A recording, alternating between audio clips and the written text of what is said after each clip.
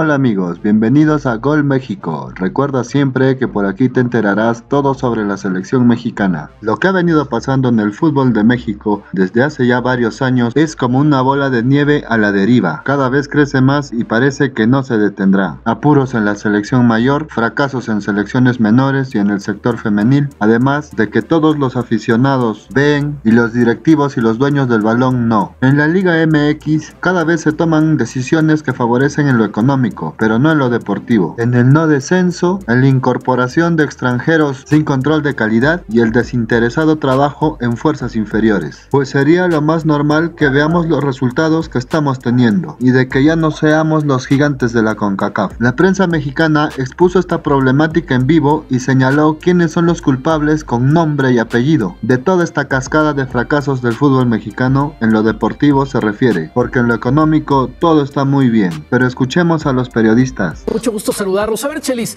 vamos a individualizar un poco las cosas por equipos, porque una le toca a Luis Pérez, otra le toca a Mónica Vergara, los otros fracasos le tocan al Tata Martino. Eh, ¿Tú crees que son los técnicos correctos o que desde la comisión no se están tomando buenas decisiones para los entrenadores? Buenas tardes. La cabeza está mal. Yo no, no, no digo que el señor no tenga idea. ¿El señor Torrado? No, el señor John de Luisa. Cuando algo está mal es la cabeza. Al, al, cambio de timón él no supo ejercer o no ha sabido ejercer el poder que tenía. Y entonces, en base a lo que él heredaba en otros puestos de abajo, deja todo, no arma ningún plan y simplemente todo sigue con, con, lo que ya estaba, no con, con el poder que él podía ejercer. Y entonces, el señor Arreola, en otros puestos públicos, no, no sé cómo lo hizo, en el fútbol no tiene conocimientos.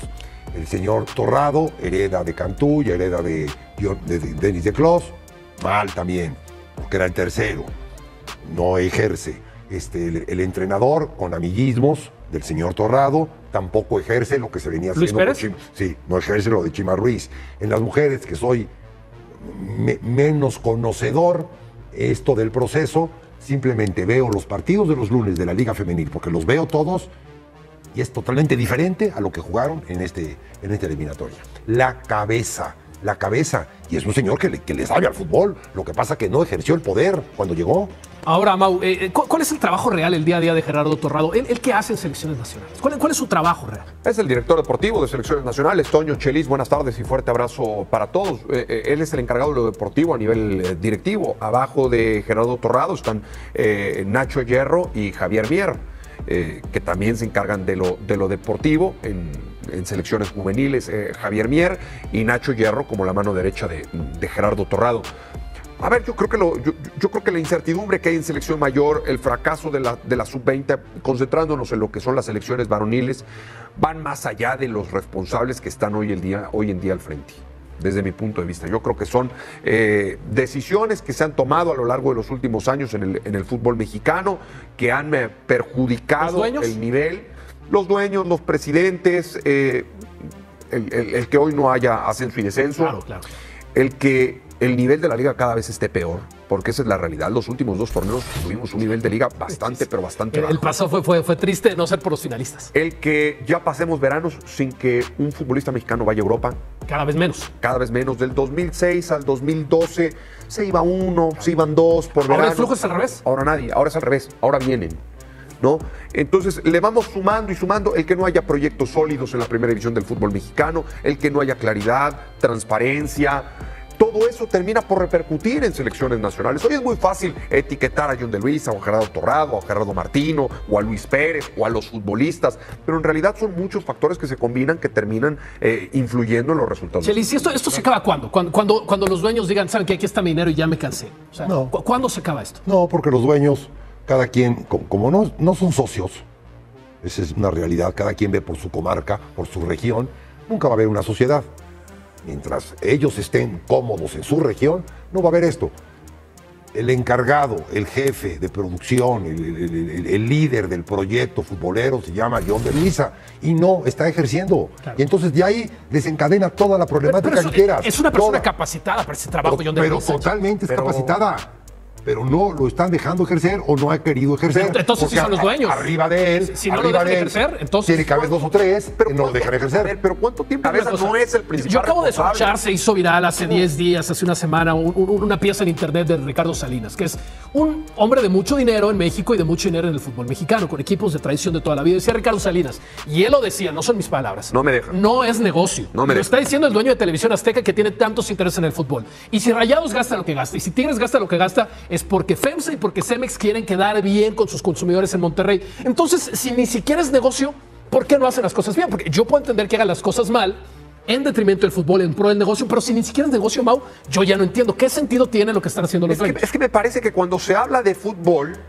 creemos que, son- que- que- que estamos alejados a lo que vive un país y no vemos nuestra realidad. Ok.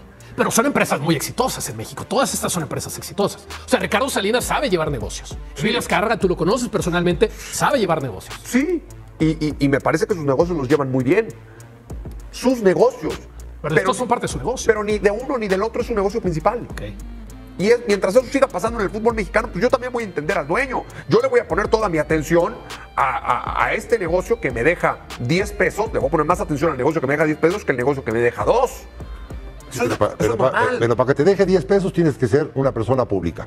Y esa persona pública es lo que te otorga el, el fútbol. Y todo mundo de los dueños están metidos. Si dicen que no ganan, están metidos por el poder que les da el ser dueños de un El equipo. empresario más ¿Quién es importante el del goberna- país salió corriendo. ¿Quién es el gobernador de No, no es Chihuahua? ningún tonto, Carlos Slim. o de Baja California o de tal, nadie lo sabe. ¿Quién es el dueño del Pachuca? ¿Quién es el dueño de tal y de tal? Todo el mundo lo sabe. Ahora, ¿qui- qui- ¿quién de los dueños, esta es una buena pregunta, creen ustedes que ha tenido las credenciales en el pasado reciente para decir, este tipo está haciendo mejor las cosas en pro del fútbol? Vamos a calificarlos por sus equipos. Jesús Mar- Martínez, quizás Grupo Orlegui. Yo creo que hoy hay dos proyectos estables, sólidos, transparentes, que son Grupo Pachuca y Grupo Orlegui, ¿no? Eh, lo, de, lo de América lo ponemos aparte porque ese ha sido a lo largo de toda la vida, ¿no? Que sabemos quién es el propietario y quién está atrás del equipo. Pero mm, en tiempos recientes, dos proyectos que a mí me parecen muy sólidos son Grupo Orlegui y Grupo Pachuca. ¿Sabes cuál es la bronca, Cheri? Se presenta la Además camiseta. con equipos fuera de México. Claro, ya- ahora dos. ya sí. Se, se presenta la camiseta de México, muy bonita y lo que quieras, te metes a la página de la Federación, yo lo hacía antes del show, y de lo primero que te sale, cámbiate esta nómina, vuela en esta aerolínea, consume estas galletas, lo cual está muy bien. Pero eso se tiene que aterrizar al fútbol. Y yo te voy a decir una cosa, Chelis, y con esto quisiera cerrar para que analices un poco los partidos que viene México antes del Mundial. Suecia no es mundialista, Paraguay no es mundialista, Colombia no es mundialista y Perú no es mundialista. Súmale otro. Irak. ¿Esto es, es la mejor planeación deportiva? No, no, no es la mejor planeación deportiva, porque al señor, que es el que mejor lo puede llevar si lo dejan libre para llevarlo, le dicen lo que tiene que hacer. Y el globo ya está inflado. México ya va al Mundial. Para mí el gran problema es que México no va al Mundial Sub-20. Para mí el gran problema es que México no va a la Olimpiada. Y los que manejan el fútbol sí les pegan su bolsillo tremendamente. Y entonces lo van a dejar ejercer para que México vaya y les pueda hacer el negocio ellos o van a seguir igual. es un golpe tremendo Pero para, lo de la, pero para lo de la las- sub-20 Es, los- es dinero perdido. Pero es lo de dinero los perdido. 20 y los Juegos Olímpicos ha pasado.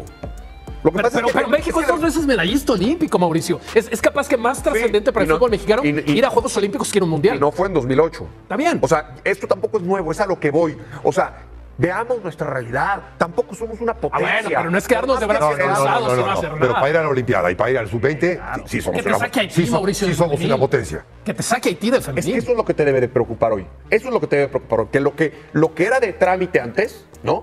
El ganarle a Haití, el ganarle a Jamaica, el ganarle a Honduras, ya no lo es. Ya no lo es. Y, y- y en la mayor, pues también nos ha pasado, Y- y, ¿eh? y no me digas que es que Honduras ha crecido un mundo.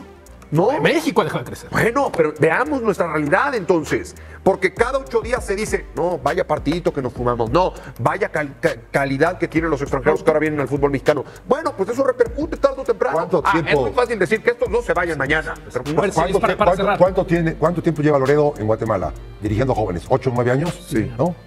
Ahí están los resultados. ¿Cuánto tiempo lleva dirigiendo Luis Pérez? Jóvenes. Nada de este Se- torneo. Seis partidos. Sí. Seis partidos lleva dirigiendo, pero es amigo del amigo del pero Jaime. Lozano también. Y fue medallista. Sí, la, la- la cosa es cuántas Pero veces te- te van a salir, pero- ¿no? Pero tenía mayor trayectoria como entrenador Jaime Lozano que Luis Pérez. Momento de cerrar, señores. Tú Bueno. conoces a algunos dueños, echarles una llamada. ¿no? Él tiene que ser él, pero con poder. Pues sí. Él con poder, denle el poder. Empodérenlo. Sí, para eso es su trabajo, ¿no, Cheris? Claro. Bueno amigos, hasta aquí las noticias. No dejes de dejar tu comentario y dejar tu manito arriba. Muchas gracias y hasta la próxima.